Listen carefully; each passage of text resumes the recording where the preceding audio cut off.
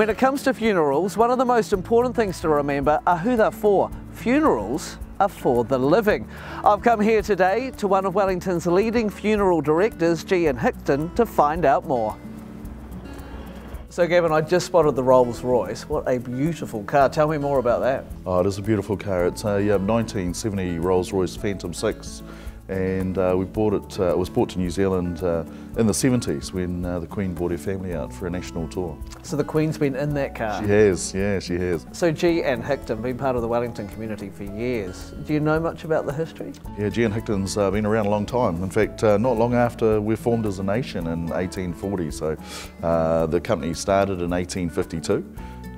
Joseph Hall was the gentleman who started the business and he was a wheelwright and uh, undertaker. Right. Um, and the family owned the business right through till 1946. And uh, 1946, there was no one to take over the business, so uh, they sold the business to uh, a TG and Robert Hickton, and that's where Gee and Hickton was formed. Um, and uh, we've been in the Hutt Valley and in the Wellington community uh, ever since. So part of people's lives for a very long time. Been around a long time, yeah. yeah. A real institution in the Hutt Valley. I wanted to know a bit more about you, Gavin. How did you get started in this? Because there's not like a course you can take, is there? No, no. Look, for me, uh, my father died when I was 14, and uh, yeah, we had a dealing with a funeral director in Rotorua who just he was just a fantastic uh, funeral director. Uh, looked after mum so well, and I thought I sat there at that time and um, watched him. And uh, you know, as young people, we watch watch people and and uh, take on board how they act and what they do, and and decided at that time that I wanted to become a funeral director. So. Um, I ended up writing letters all around the country and and uh, landing a job with Gee and Hickton in the, in the late 80s. So what was it, do you think, at, you know, at the age of 14 that you noticed about the funeral director that made you think this is something for me?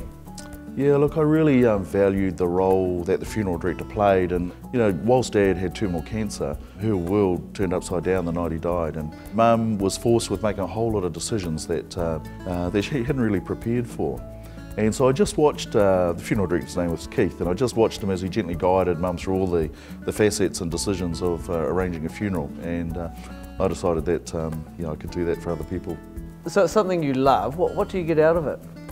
Oh, look, I really value what funerals do for the community and uh, right the way through, as in fact as I bring my children up, um, you know, the role that we play in the community, our names and what we've done for the communities as funeral directors, and that's, that's stuck with me, you know. When I think about what we do, we're really event planners with empathy and uh, we, we gently guide the families through all of the details of a funeral. So, you know, most of them ring us and say they have no idea about what to do next and Obviously we know the legal aspects that they need to fulfil and have contacts in the community around making arrangements for what they need. So we just sit there, blank sheet of paper and gently guide them through all of the details of the funeral service. And a really important role in the community as well. You look at the Hutt Valley, and the role that you have here in this community, it's huge. Oh, absolutely. And funerals done well, you know, and so say when, a, when you sort of reflect on what we do and, and a funeral done well, and you talk to people in the community, they really appreciate having had the opportunity to come together and, and support one another.